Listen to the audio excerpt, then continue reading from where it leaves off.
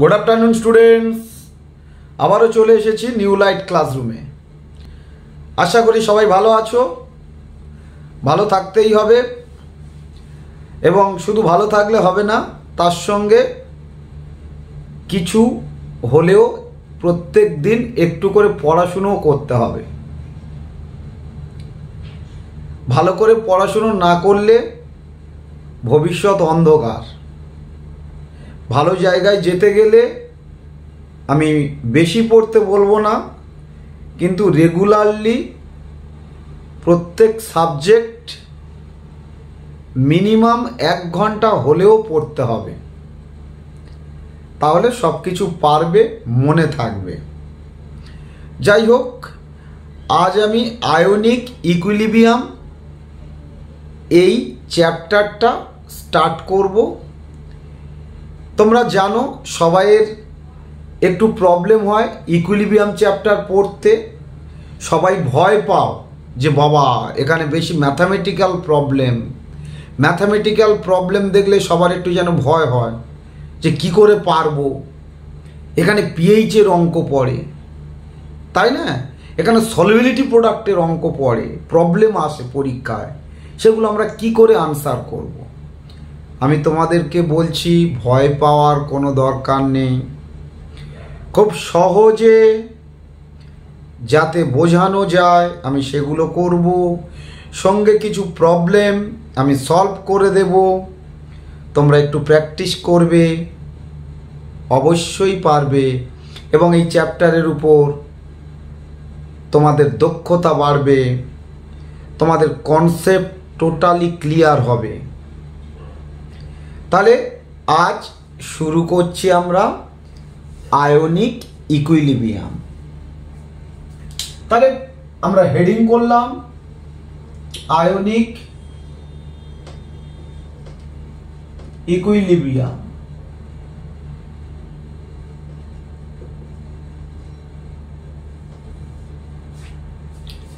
দেখো, এই ionic equilibrium chapter জানতে গেলে প্রথমে আমরা পড়ব যে ইলেকট্রোলাইট হোয়াট ইজ ইলেকট্রোলাইট যদিও তোমরা এগুলো ক্লাস নাইন টেনে পড়ে এসেছ যে হোয়াট ইজ ইলেকট্রোলাইট তাই না? তবুও এখানে একটু পড়তে হবে বাবু। তাহলে আমরা একটু লিখে দিচ্ছি electrolyte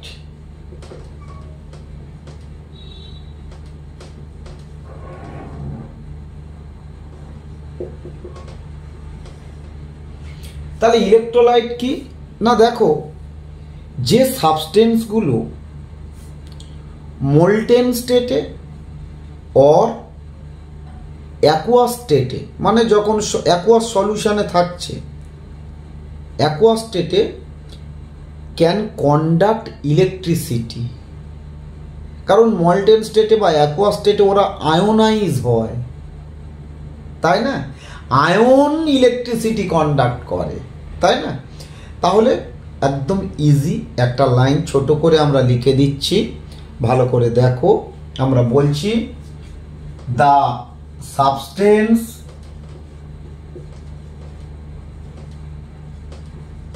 which can conduct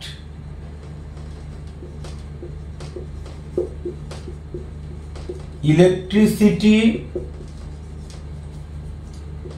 in molten state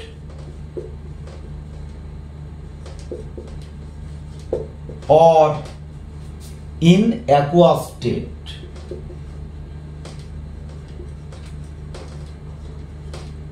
in aqueous state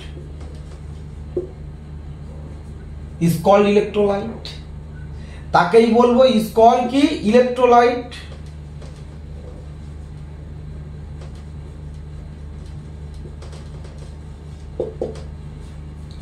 ধরো এক্সাম্পল দিচ্ছি, একখানে এক্সাম্পল এনএসিএল দেখো এনএসিএল মোল্টেন স্টেট আর অ্যাকোয়া স্টেটে কি করে? এরা ইলেকট্রিসিটি কন্ডাক্ট করতে পারে। কেন? এরা আয়োনাইজ হয়।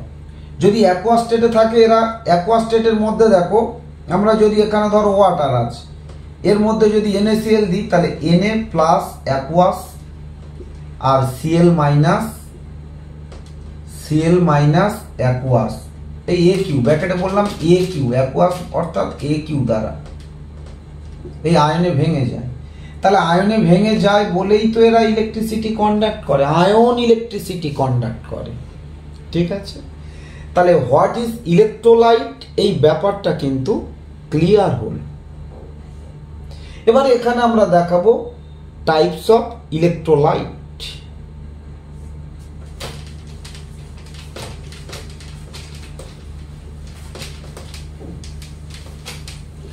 এবার আমরা বলছি টাইপস অফ টাইপস তাহলে ইলেকট্রোলাইট কত টাইপের দেখো? না ইলেকট্রোলাইট টু টাইপস নাম্বার ওয়ানে বলছি strong electrolyte strong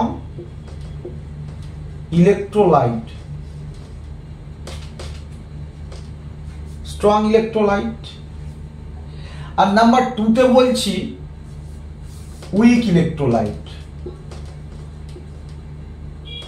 strong electrolyte আর উইক ইলেকট্রোলাইট তাহলে প্রথমে আমরা শিখব যে হোয়াট ইজ স্ট্রং ইলেকট্রোলাইট তাই না? তাহলে স্ট্রং ইলেকট্রোলাইট কি?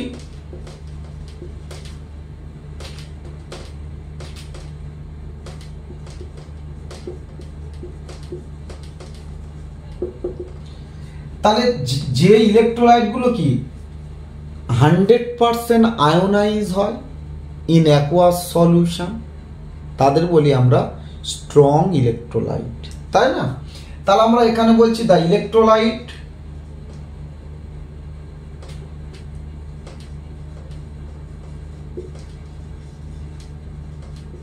which is completely ionized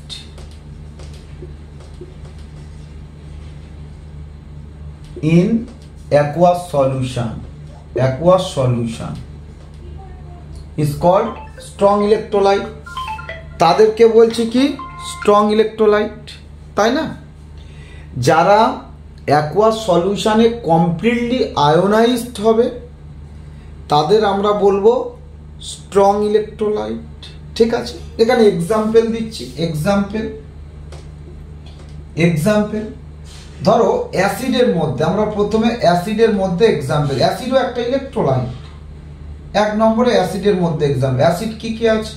দেখো H C L H C L একটা strong electrolyte H N O three strong অ্যাসিডগুলো সবই strong electrolyte H two S O four এগুলো কিন্তু strong electrolyte H I H B R ঠিক আছে? H C L O four perchloric acid এরা কি? অ্যাসিডের মধ্যে সবাই স্ট্রং ইলেকট্রোলাইট আমি এক্সাম্পল টুতে বলছি বেসের মধ্যে বেস বেসের মধ্যে কি? বেস মানে বেস ও ইলেকট্রোলাইট হয়। দেখ, এরা সব H plus SO four minus H plus I minus এগুলো ভেঙে যায়। তাহলে বেস কি কি আছে দেখো? স্ট্রং বেস এনএওএইচ কেওএইচ এই ক্যালসিয়াম হাইড্রক্সাইড, এই ম্যাগনেসিয়াম হাইড্রক্সাইড, এই বেরিয়াম হাইড্রক্সাইড, এগুলো কিন্তু সবই তোমার স্ট্রং ইলেকট্রোলাইট এরা হান্ড্রেড পারসেন্ট আয়োনাইজড হয় অ্যাকোয়াস সলিউশন আচ্ছা আমরা আবার সল্টের বলছি সল্টও আছে সল্ট দেখো normally alkali metal or alkaline earth metal সল্টগুলো completely ionised হয়। কিছু কিছু এক্সেপশান আছে, কিন্তু ম্যাক্সিমাম হান্ড্রেড পারসেন্ট আয়োনাইজড হয়। ধরো NaCl KCL N A B R K I ঠিক আছে? N A I N A N O three etcetera কত বলব? প্রচুর আছে। ঠিক আছে? তাহলে স্ট্রং ইলেকট্রোলাইট আমরা বললাম, যারা কি হান্ড্রেড পারসেন্ট আয়োনাইজড হয় সল অ্যাকুয়াস সলিউশানে তাদের বলছি স্ট্রং সেই ইলেকট্রোলাইট মেবি অ্যাসিড অ্যাসিড হতে পারে মেবি বেস বেস হতে পারে, আবার মেবি সল্ট সল্টও হতে পারে। প্রত্যেকটা পয়েন্ট কিন্তু তোমরা লিখে রাখবে। যা যা লেখাচ্ছি লিখে রাখবে, এটা একটা কমপ্লিট নোট হয়ে যাবে তোমাদের হ্যাঁ? একটা কমপ্লিট নোট হয়ে যাবে। ঠিক আছে? তাহলে আমরা স্ট্রং ইলেকট্রোলাইট বলে দিলাম, কিন্তু আমাদের উইক ইলেকট্রোলাইট বেশি ইম্পর্টেন্ট এই আয়নিক ইকুইলিবিয়াম উইক ইলেকট্রোলাইট আমাদের জানতে হবে। তাহলে এখন আমি উইক ইলেকট্রোলাইটটা কি? হোয়াট ইজ উইক ইলেকট্রোলাইট সেটা ডিসকাস করব।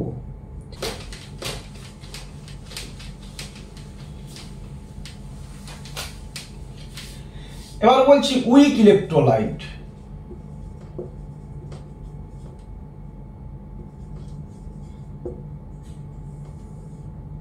তাহলে বলছি দ্য ইলেকট্রোলাইট এখানে একই definition the electrolyte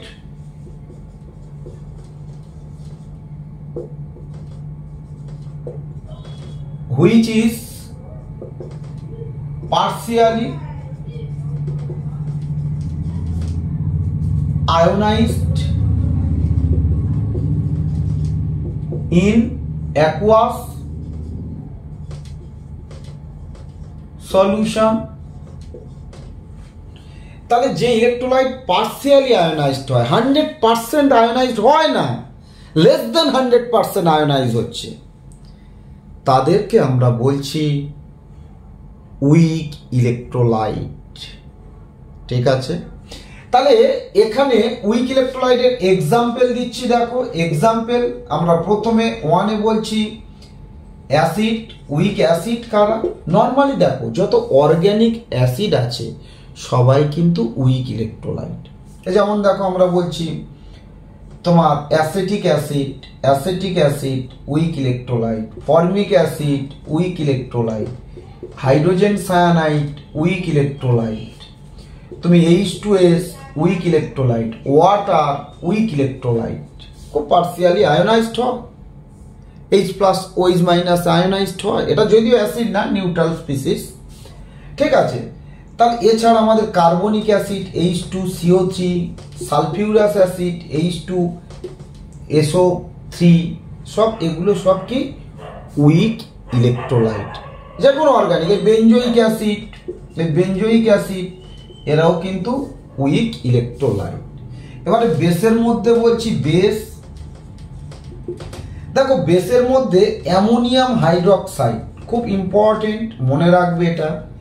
ammonium hydroxide একটা উইক বেস কেন? না, এটা উইক ইলেকট্রোলাইট এটা হান্ড্রেড পার্সেন্ট আয়োনাইজ হয় না। ঠিক আছে? তাই এটা উইক ইলেকট্রোলাইট এছাড়া অ্যালমোনিয়াম হাইড্রক্সাইড, ফেরিক হাইড্রক্সাইড, এরা কিন্তু সবাই উইক ইলেকট্রোলাইট মনে রাখতে হবে। এবার সল্টের মধ্যে বলছি সল্ট সল্ট কি দেখ, আমরা কোন সল্টগুলো উইক ইলেকট্রোলাইট অ্যাকচুয়ালি আমরা বলি স্পেয়ারিংলি সলুবেল সল্ট অর্থাৎ যাদের সলুবিলিটি ভেরি মাচ লেস তারাই উইক ইলেকট্রোলাইট যেমন আমরা বলছি calcium fluoride calcium phosphate Ag Cl Ag Br Ag Br calcium carbonate, এগুলো সবই উইক ইলেকট্রোলাইট। অ্যাকচুয়ালি যারা প্রেসিপিটেট হয়, তারা উইক ইলেকট্রোলাইট হিসাবে কাজ করে। তাহলে এই জায়গাটা তোমাদের ক্লিয়ার হলো। ইলেকট্রোলাইট ব্যাপারটা কি? সেটা আমরা ক্লিয়ার করে দিলাম। এবার এখানে আয়নিক ইকুইলিবিয়াম ব্যাপারটা কি? আমরা একটু বলব। অ্যাকচুয়ালি হোয়াট ইজ ইকুইলিবিয়াম সেটা আমরা কেমিক্যাল ইকুইলিবিয়ামে পড়িয়েছি। এখন আমরা আয়নিক ইকুইলিবিয়াম ব্যাপারটা কি? সেই জায়গাটা স্লাইড ডিসকাস করব। করে পিএইচের প্রবলেমগুলো কীভাবে করতে হয়, সেগুলো আমরা দেখাবো। তাহলে এই জায়গাটা ক্লিয়ার হলো। এটা অবশ্যই তোমরা লিখে রাখবে। আচ্ছা এবার আমি আয়নিক ইকুইলিবিয়ামটা কি একটু ছোট্ট করে আমি ডিসকাস করে দিচ্ছি। দেখো, দেখ, আয়নিক ইকুইলিবিয়াম ভালো করে দেখ। তাহলে আয়নিক ইকুইলিবিয়াম অ্যাপ্লিকেবল আমি বলেছি, কাদের ক্ষেত্রে অ্যাপ্লিকেবল ফর উইক ইলেকট্রোলাইট তাহলে এখানে প্রথমে বলছি applicable for for weak electrolyte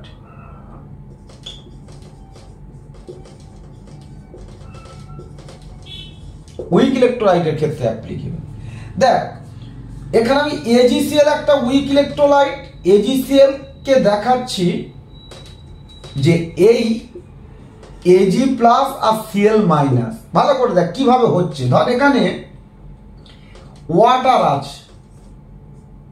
তাহলে এখানে আমি যখন সামান্য লিটিল অ্যামাউন্ট অফ এজিসিএল দিচ্ছি, এটা কিন্তু কমপ্লিটলি আয়নে ভেঙে যাচ্ছে এবং এটা ডিজলভ হয়ে যাচ্ছে।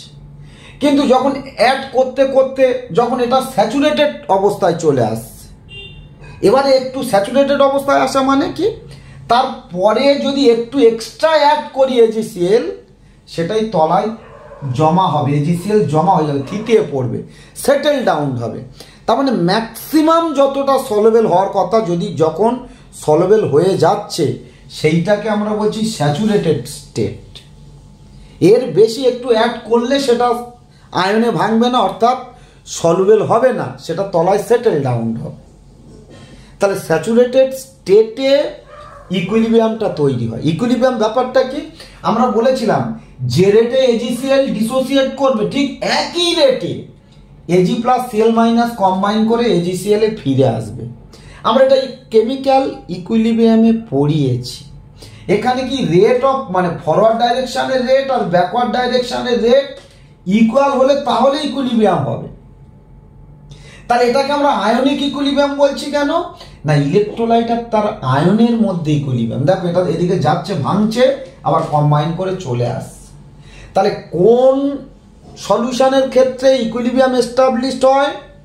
স্যাচুরেটেড সলিউশন তাহলে আয়নিক ইকুইলিবিয়াম কাদের মধ্যে হয়? না it is it is form বলে দিলাম form between electrolyte and its ion আয়নের ক্ষেত্রে তোমার এই আয়নিক ইকুইলিবিয়ামটা এস্টাবলিশ হয়। কোন সলিউশনের ক্ষেত্রে অ্যাপ্লিকেবল স্যাচুরেটেড সলিউশন তাহলে এখানে বলছি অ্যাপ্লিকেবল ফর স্যাচুরেটেড সলিউশন হ্যাঁ? স্যাচুরেটেড সলিউশন তাহলে স্যাচুরেটেড সলিউশনের ক্ষেত্রে কিন্তু অ্যাপ্লিকেবল তাহলে আয়নিক ইকুইলিবিয়াম ব্যাপারটা ক্লিয়ার হয়ে গেল। তাহলে যখন দুটো রেট সমান হবে এজি আয়ন যে রেটে ভাঙ মানে সলটা যে রেটে ডিসোসিয়েট করবে, ঠিক একই রেটে আয়নগুলো কম্বাইন করে আবার ব্যাকওয়ার্ড ডাইরেকশানে ফিরে আসবে। অর্থাৎ ফরওয়ার্ড ডাইরেকশান এবং ব্যাকওয়ার্ড ডাইরেকশান দুটো রেট যখন ইকুয়াল হবে, তখনই আয়নিক ইকুইলিবিয়াম তৈরি হচ্ছে। ঠিক আছে? তাহলে এইটুকু ক্লিয়ার তিনটে পয়েন্ট এখানে বললাম। আয়ন আর তার ইলেকট্রোলাইটের মধ্যে ইকুইলিবিয়াম কখন এস্টাবলিশড হয়? না স্যাচুরেটেড সলিউশন ঠিক আছে? বোঝা গেল এইটুকু? বেশি পড়ার দরকার নেই বাবা। এবার আমি একটা নতুন, একটা টার্ম ইউজ করব। তোমরা যেহেতু ইলেভেনে পড়ো তো, তাই নতুন টার্ম একটা ইউজ করব, যাকে বলে degree of dissociation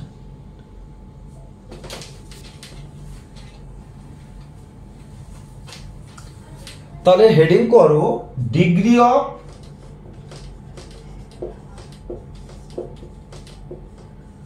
dissociation or ionization. Ionization এটাকে আলফা দ্বারা ডিনোট করা হয়। ঠিক আছে? ডিগ্রি অফ ডিসোসিয়েশন বা আয়োনাইজেশনকে আলফা দ্বারা ডিনোট করি। দেখ ডিগ্রি অফ ডিসোসিয়েশন বা আয়োনাইজেশন ব্যাপারটা কি? ধর, একটা ইলেকট্রোলাইট তার স্যাচুরেটেড সলিউশনে তার আয়নের সঙ্গে ইকুইলিবিয়াম স্টেটে যখন আছে, তাহলে ইলেকট্রোলাইটের ওই স্টেটে মানে ইকুইলিব্রিয়াম স্টেটে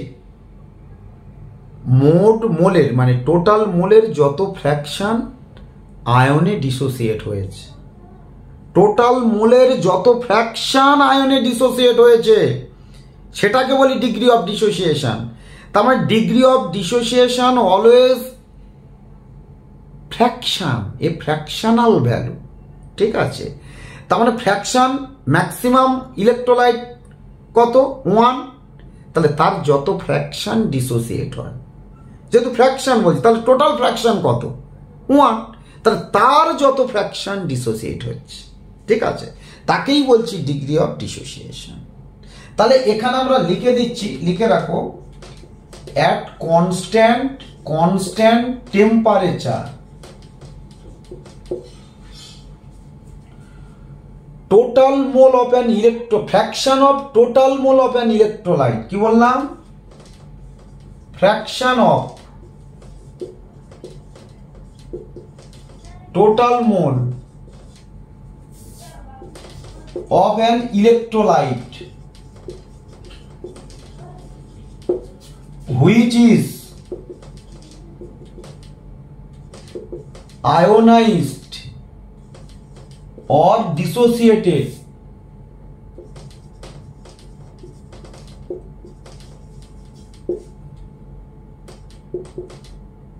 In equilibrium.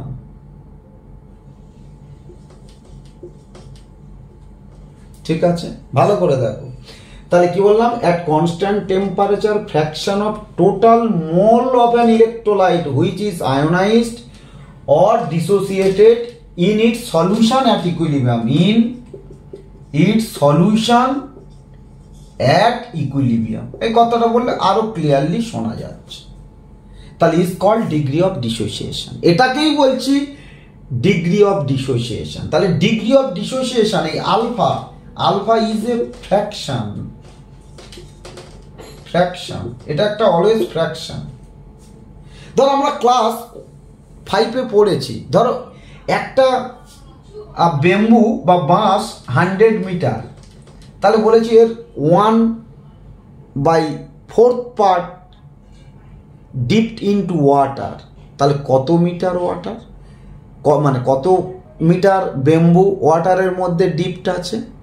তাহলে হান্ড্রেড ইন্টু কি? ওয়ান বাই ফোর এরকম বলতাম না? তাহলে এই যে টোটালের কত ফ্র্যাকশন টোটাল হান্ড্রেড, এখানে টোটাল মোলকে আমরা ওয়ান যদি ধরি, তাহলে তার কত ফ্র্যাকশন? তাহলে আলফাটা একটা ফ্র্যাকশন। টোটাল বাঁশ, ব্যাম্বু হান্ড্রেড মিটার, তার ওয়ান ফোর্থ ওয়াটারের মধ্যে আছে। তাহলে কত metre water? Twenty five metre. তাহলে এখানে টোয়েন্টি ফাইভ মানে কি? এই ওয়ান ফোর্থ পার্ট। তাহলে এইটাই হচ্ছে আলফা। এই ওয়ান ফোর্থটাই হচ্ছে আলফা। ক্লিয়ার? বোঝা গেল? আচ্ছা এখানে একটা কোশ্চেন এলো দেখো, যে what do you mean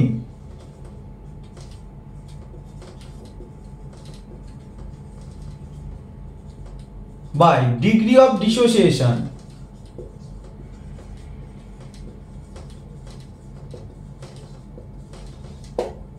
of an electrolyte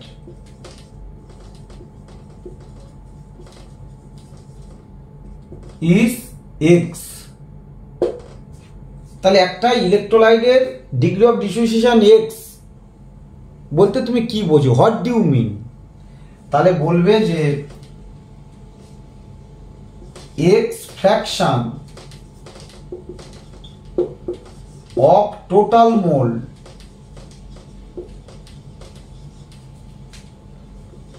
of an electrolyte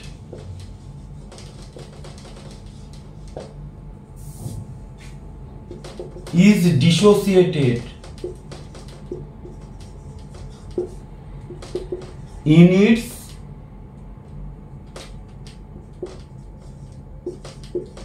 saturated solution at equilibrium. ঠিক আছে? তার মানে অ্যাট ইকুইলিব্রিয়ামে ওর স্যাচুরেটেড সলিউশনে টোটাল মোলের এক্সফ্র্যাকশন ডিসোসিয়েট হয়েছে। তার আগে অ্যাট কনস্ট্যান্ট টেম্পারেচারটা বলে দিলে আরও হান্ড্রেড পারসেন্ট কমপ্লিট আনসার হবে। তাহলে এই জায়গাটা আশা করি তোমরা বুঝতে পেরেছ। ব্যাপারটা কি ক্লিয়ার হয়েছে, ঠিক আছে? আচ্ছা এখানে একটা জিনিস এবারে বলি। দেখো for strong electrolyte strong electrolyte তো হান্ড্রেড পারসেন্ট আয়োনাইজ হয়। তার মানে তার যা টোটাল মোল টোটাল মোলই ডিসোসিয়েট হয়েছে। তাহলে for strong electrolyte alpha equal to কি হবে? ওয়ান হান্ড্রেড পারসেন্ট ডিসোসিয়েট হয়েছে। খুব ইম্পর্টেন্ট এই পয়েন্টটা জানবে। ফর স্ট্রং ইলেকট্রোলাইট স্ট্রং ইলেকট্রোলাইটের ক্ষেত্রে আলফা কি? Always one hundred percent dissociate হয়ে টোটাল যত মোল ছিল টোটাল ডিসোসিয়েট হয়েছে। আর for weak electrolyte weak electrolyte, তাহলে আলফা কি হবে? জিরোর থেকে বেশি, আবার একের থেকে কম।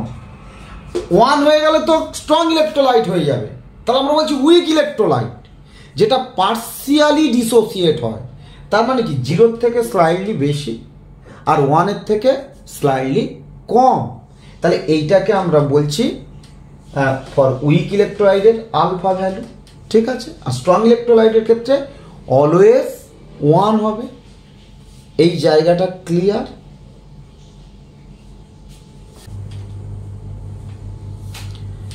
দেখো, এবারে আমি তোমাদের শেখাবো, ধরো একটা ইলেকট্রোলাইটের অ্যাকোয়া সলিউশন আছে। তাহলে সেই সলিউশনের মধ্যে কি? তার আয়নগুলো আছে। সেই আয়নের মোলার কনসেন্ট্রেশন কীভাবে ক্যালকুলেট করতে হবে? সেটা শিখতে হবে। না হলে আমরা পিএইচের কোনো প্রবলেম সলভ করতে পারব না। তাহলে তোমরা হেডিং করো determination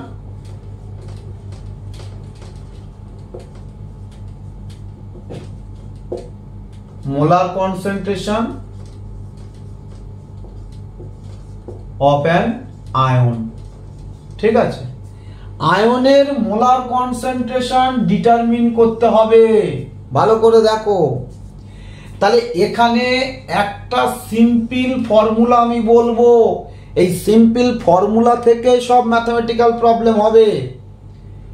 দেখো, আয়ন। আয়নের এই থার্ড ব্র্যাকেট মানে মোলার কনসেন্ট্রেশনকে ইন্ডিকেট করে। কেমিক্যাল ইকুইলিব্রিয়ামে শিখেছো?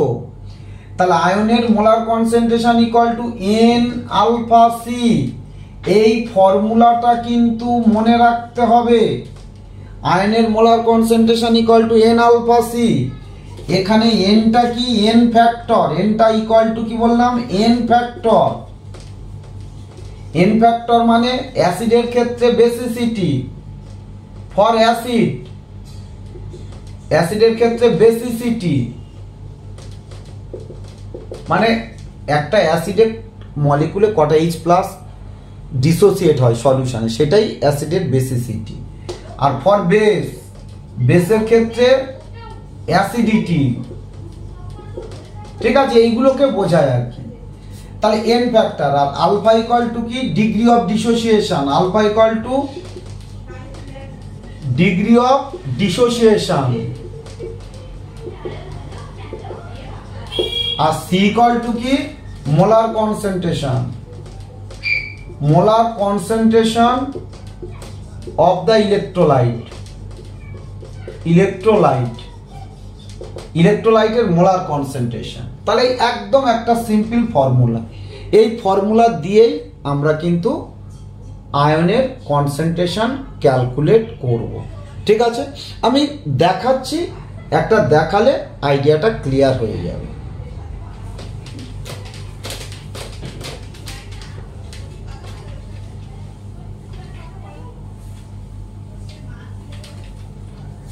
দেখো, এখানে প্রথমে বলছি calculate molar concentration of H plus ion in 10 to the power minus 2 molar এই সেল সলিউশন তাহলে এই সেল সলিউশনে এইচ প্লাস আয়নের মোলার কনসেন্ট্রেশন ক্যালকুলেট করো। তাহলে আমরা এইচ প্লাস আয়নের মোলার কনসেন্ট্রেশন ফর্মুলা এইটা ইকুয়াল টু কি? এন আলফা সি তাহলে এন কটা? এন কটা? এন ফ্যাক্টর কটা? একটা এইচ সেল কটা এইচ প্লাস রিলিজ করে? কতগুলো এইচ প্লাস রিলিজ করে? একটা এইচ সেল মলিকুল একটা। তাহলে এন ফ্যাক্টর ওয়ান আলফা কি? এটা স্ট্রং ইলেকট্রোলাইট একটু আগে পড়েছি। স্ট্রং ইলেকট্রোলাইটের ক্ষেত্রে আলফা তো ওয়ান তাহলে আলফা ওয়ান আর কনসেন্ট্রেশন কত দেয়া আছে? Ten to the power minus two, ten to the power minus two, তাহলে পেলাম কত? Ten to the power minus two molar তাহলে এইচ প্লাসের কনসেন্ট্রেশন কত হলো? Ten to the power minus two molar clear another problem দেখো। Problem two বলছি calculate molar concentration concentration of OH minus ion in 0.5 into 10 to the power minus 3 molar calcium hydroxide solution. বা aqueous solution of calcium hydroxide. তাহলে এখানে আমাদের formula কি? OH minus ion. Formula কি একই? N alpha C তাহলে এনটা কত? এখানে একটা ক্যালসিয়াম হাইড্রোক্সাইড কতগুলো ওইচ মাইনাস রিলিজ করে? দুটো। তাহলে টু আলফা, এটা স্ট্রং ইলেকট্রোলাইট আলফা ওয়ান আর সি কি? কনসেন্ট্রেশন অত কত আছে? Point five into ten two আর মাইনাস থ্রি তাহলে কত হচ্ছে? One into ten two R minus three equal to ten to the power minus three molar clear তাহলে স্ট্রং ইলেকট্রোলাইটের ক্ষেত্রে আলফা অলওয়েজ ওয়ান ঠিক আছে? আর যদি উইক ইলেকট্রোলাইট দেওয়া থাকে, তাহলে আলফা ভ্যালু গিভেন থাকবে। তাহলে আমরা ক্যালকুলেট করতে পারব। তাহলে আয়নের কনসেন্ট্রেশন ক্যালকুলেট করা আশা করি শিখতে পারলে। তাহলে এই জায়গাটা ক্লিয়ার হলো, বোঝা গেল।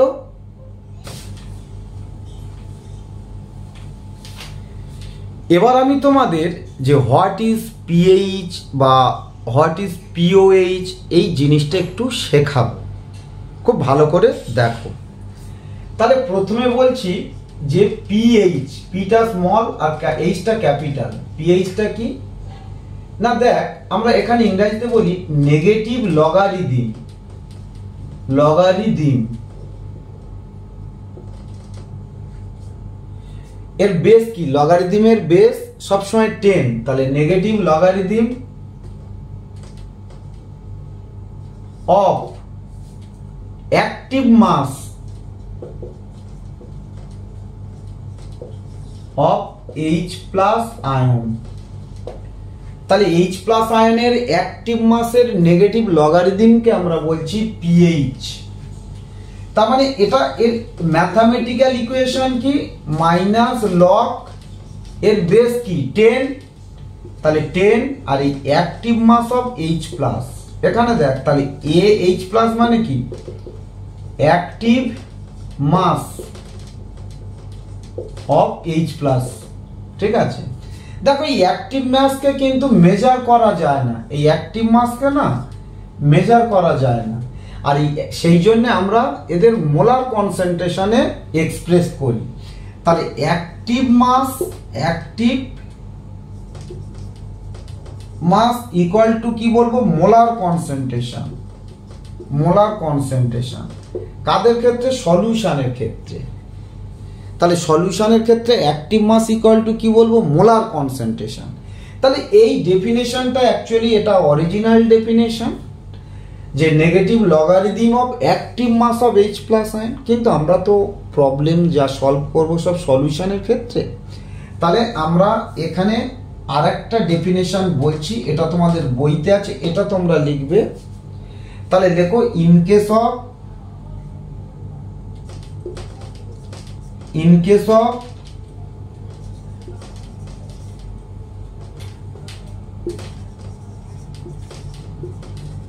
aqueous solution of acid or base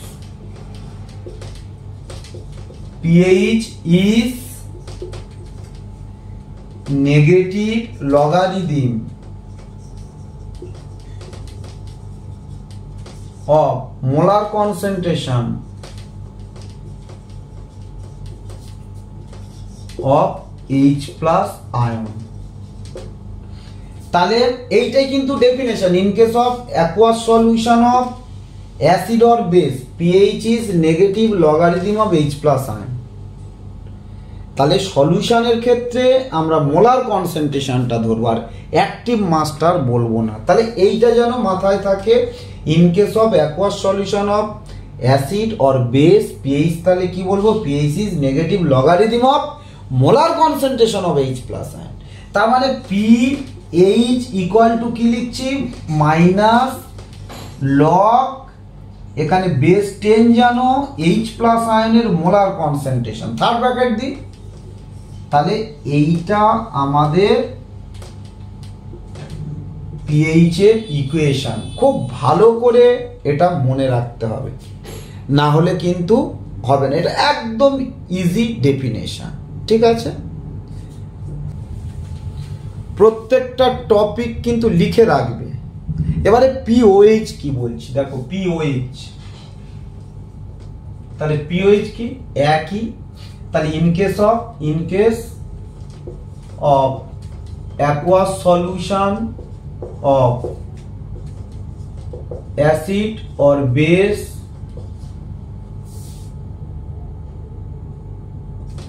POH is negative logarithm of molar concentration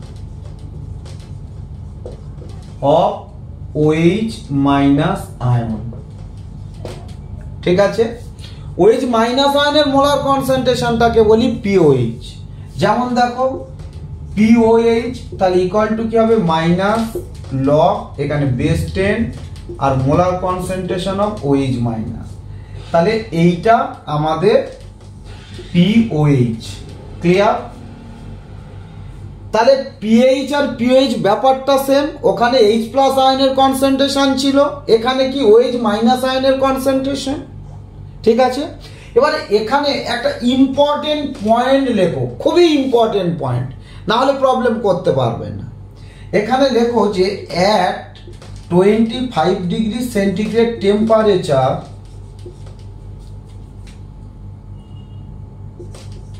pH plus pOH value of an aqueous solution of acid or base যে কোনো অ্যাকোয়াস সলিউশন পিএইচ আর পিএইচ এর ভ্যালু হবে কত? Equal to fourteen ভালো করে দেখো।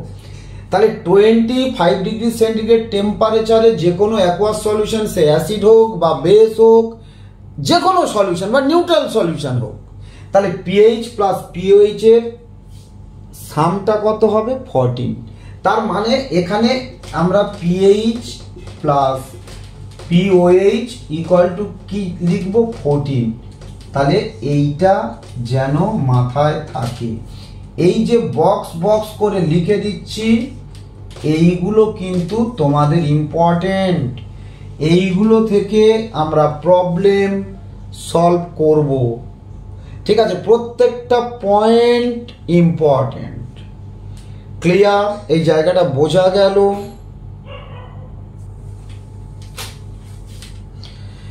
এবারে আমি তোমাদের এই পিএইচ স্কেল নিয়ে একটু ডিসকাস করব। এটা তোমরা ক্লাস নাইন টেনে পড়েছো, তবুও আমি একটু বলব। দেখো পিএইচ স্কেল এটা দেখো সোরেন সেন বলে একটা সায়েন্টিস্ট তিনি এটা এস্টাবলিশ করেছিলেন পিএইচ স্কেলটা ফর্ম করেছিলেন। যাই হোক, এটা কি? না ইট ইজ ইউজড লেখো it is used to measure acidity or basicity.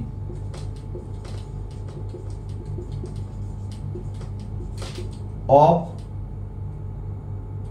an aqueous solution একটা অ্যাকোয়াস সলিউশনের তার অ্যাসিডিটি আর বেসিসিটি সেটা কতটা অ্যাসিডিক বা কতটা বেসিক, সেইটা মেজার করতে ইউজ করা হয় যে এই পিএইচ স্কেলটা সে অ্যাসিডিকটি অ্যাসিডিক কিনা বা বেসিক কিনা কি করে জানব?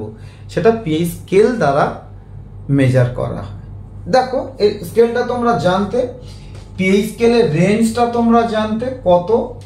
না পিএইচ স্কেলের রেঞ্জ ছিল পিএইচ স্কেলের রেঞ্জ রেঞ্জটা ছিল এই জিরো থেকে ফোরটিন পর্যন্ত পিএইচ স্কেলের রেঞ্জ মাঝখানে সেভেন তাহলে এই সেভেন পিএইচ হলে এটা ইন্ডিকেট করে নিউট্রাল নিউট্রাল সলিউশন এটা নিউট্রাল আর এই পিএইচ যদি সেভেনের থেকে বেশি হয়, এটা করে বেসিক সলিউশন বেসিক আর পিএইচ যদি লেস দেন সেভেন হয়, তখন হয় অ্যাসিডিক এটা অ্যাসিডিক সলিউশন তাহলে পিএইচ সেভেন হলে নিউট্রাল সলিউশন হ্যাঁ পিএইচ সেভেন কি neutral pH greater than seven basic pH less than seven acidic তাহলে এটাই ছিল পিএইচ স্কেল ক্লিয়ার এবারে আমি কতগুলো ম্যাথামেটিক্যাল প্রবলেম ডিসকাস করব?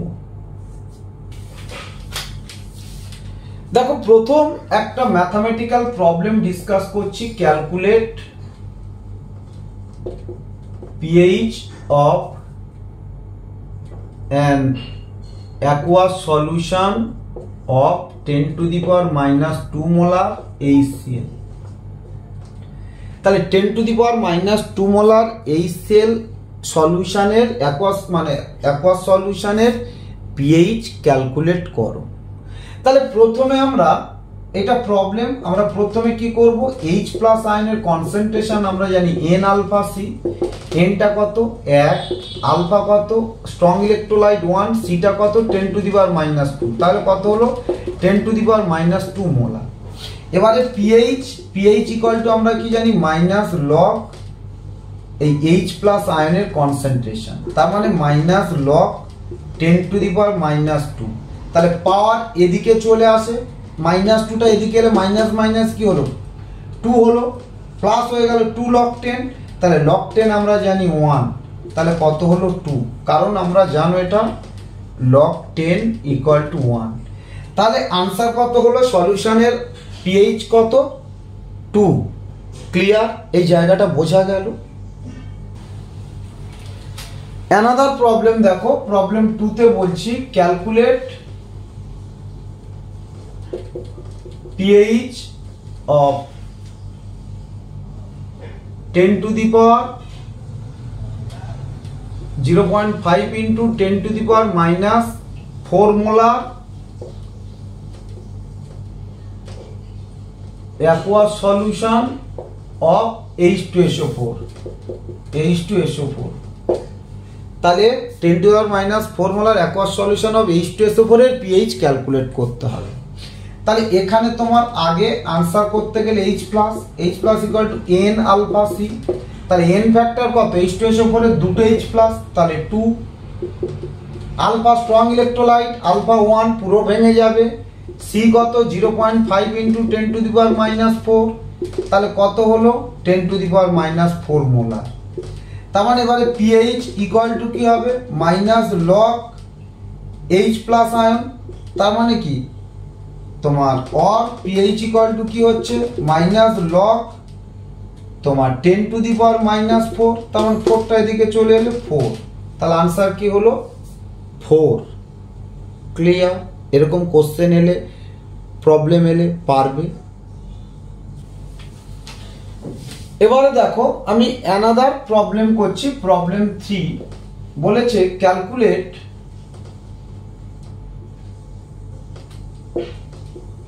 pH of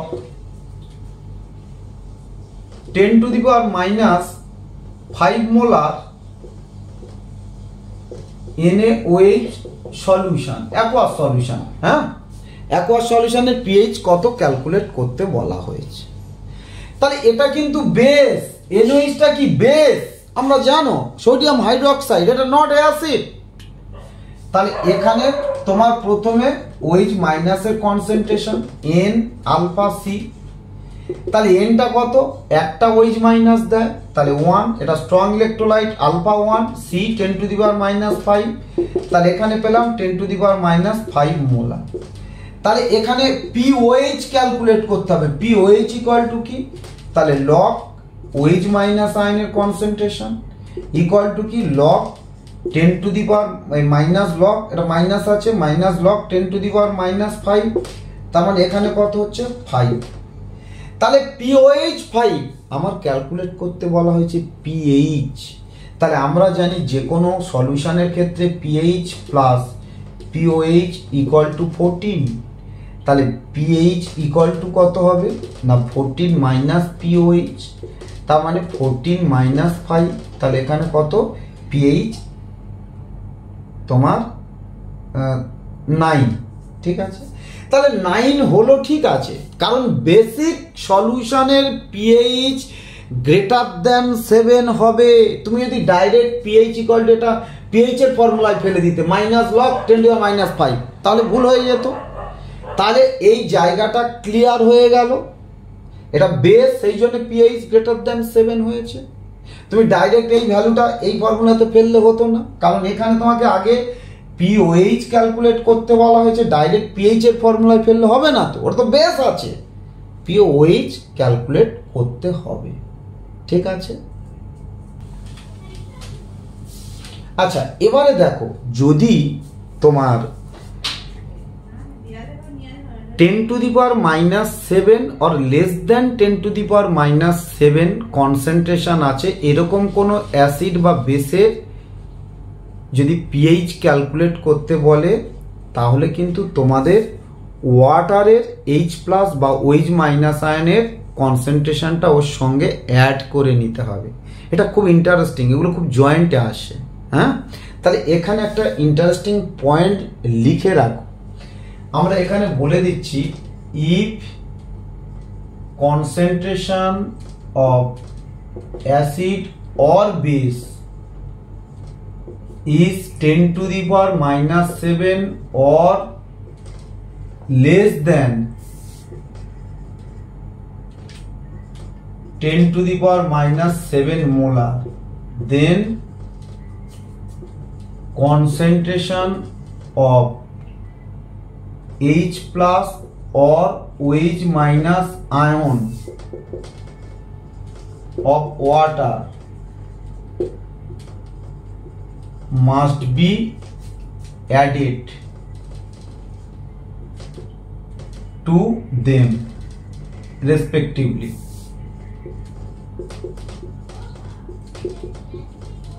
খুব ইন্টারেস্টিং এটা এই কথাটা খুব ইন্টারেস্টিং খুবই ইন্টারেস্টিং এটা লিখে রাখো। এটা দরকার, এখান থেকেই জয়েন্টে কোশ্চেন আসে নিটে কোশ্চেন আসে। দেখো, তার আগে এটা জানার আগে তোমরা কতগুলো পয়েন্ট এখানে পর পর বলছি, এটা একটা এইটা। দেখো ওয়াটারের ক্ষেত্রে ওয়াটার তো নিউট্রাল এইচ প্লাস আর ওইচ মাইনাস আয়নের কনসেন্ট্রেশন সমান equal to ten to the power minus seven বলি। কত? এক twenty five degree centigrade temperature এটা ওয়াটারের ক্ষেত্রে মনে রাখতে হবে। ঠিক আছে, এটা না হলে কিন্তু পারবে না। ধর আমার একটা প্রবলেম পড়েছে, এক নম্বরে বলছি calculate pH of 10 to the power minus 8 molar aqueous solution of HCl HCl এর পিএইচ ক্যালকুলেট করতে বলেছি। তুমি যদি এখানে ক্যালকুলেট করতে, দেখো এখানে যদি ক্যালকুলেট করতে যে pH equal to minus log eight ten to the power minus eight তাহলে কত হতো? এইট তার মানে এইটটা কি? সে তো, এ তো গ্রেটার দেন সেভেন হয়ে গেছে। তার মানে তো এটা বেস হয়ে গেছে। এই সেল সলিউশনের পিএইচ কোনো দিন গ্রেটার দেন এইট হতে পারে? সাতের থেকে কম হবে তো। তাহলে এই ফর্মুলা অঙ্কটা হবে না। তাহলে তোমার এখানে এইচ প্লাস টোটাল এইচ প্লাসের কনসেন্ট্রেশন বের করতে হবে। তাহলে এই সেল থেকে পাচ্ছি ten to the power minus eight n alpha C করে ten to the power minus eight পাবে, আর ওয়াটার থেকে পাচ্ছি ten to the power minus seven এই দুটো অ্যাড করে নিতে হবে, তাহলে দুটো অ্যাড করে নিলে কত হচ্ছে? Ten to the power minus seven common দাও, তাহলে এখানে পড়ে আছে ten to the power minus eight এই ওয়ান আর এখানে ওয়ান তাহলে one plus ten to the power minus one তাহলে ten to the power minus one মানে একের দশ তো, তাহলে একের দশ মানে কি? ওয়ান পয়েন্ট ওয়ান তাহলে এইটা হচ্ছে কত? Ten to the power minus seven into one point one এইটা যোগ করলে ওয়ান পয়েন্ট ওয়ান হয়। তাহলে এটা নিতে হবে। এইবারে পিএইচ এর ফর্মুলায় তোমাকে ওটা বসাতে হবে পিএইচ এর ফর্মুলায় তাহলে পিএইচ এর ফর্মুলায় এইবারে আমরা বসাবো pH equal to minus log H plus তাহলে এখানে বসাবো মাইনাস লগ কত? টেন তোমার ten to the power minus seven into one point one এইটা বসাবো। তাহলে তোমরা এটা জানো যে লগ এ ইন্টু বি এর ফর্মুলা কি? Log A plus log B log B জানো এটা? Log A plus log B যারা জানো না, লিখে রাখবে। যারা জানো না এটা লিখে রাখবে, তাহলে এখানে এ ইন্টু বি এইটা এ বি তার মানে এখানে কি হচ্ছে? অর পিএইচ ইকুয়াল টু কি হচ্ছে? মাইনাসটা কমন দিলাম, তাহলে log ten to the power minus seven plus log one point one এইটা হলো তাহলে ভালো করে দেখো অর মাইনাসটা দিয়ে দিলাম log ten to the power minus seven minus log one point one এই তো। তাহলে এখানে আমরা যদি করি, কি আসছে? দেখো seven minus log one point one তাহলে লগ ওয়ান পয়েন্ট ওয়ান মানে কত? এই zero point zero four one এইরকম ভ্যালু আসবে ক্যালকুলেটারে করে নেবে। তাহলে আনলে তোমার এখানে আসছে কত? এটা তাহলে লেস দ্যান সেভেন হয়েছে মানে অ্যাসিডিক লেস দ্যান সেভেন হয়েছে মানে কি? অ্যাসিডিক এটা ক্যালকুলেটারে করে নিয়ে বসাবে। আমি এইটা লগ ওয়ান পয়েন্ট ওয়ান এত ভ্যালুটা ধরলাম। কিন্তু ওটা করে নেবে তোমরা। ক্লিয়ার তাহলে এখানে হয়ে গেল এটা।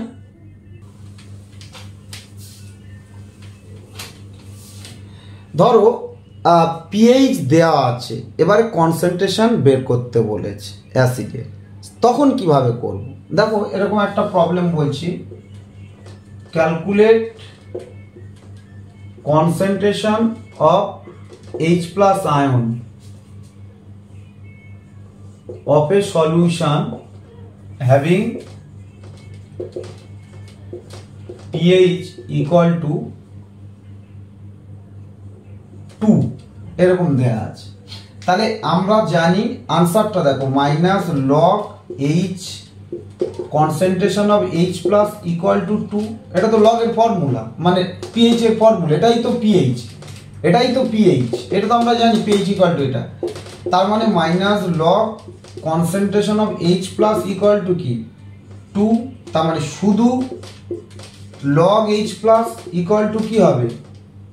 তোমার মাইনাস টু তাহলে অ্যান্টি লগ করতে হয়। দেখ, এটা যারা জানো না, লিখে রাখো। লগ এক্স ইকুয়াল টু যদি ওয়াই হয়, তাহলে anti log equal to X equal to ten to the power Y হবে। তাহলে এই এইটা ইকুয়াল টু এইটা আছে, তাহলে এর বেস এই এইচ প্লাসটা এইচ প্লাস ইকুয়াল টু কি হবে? Ten to the power minus two এত মোলা।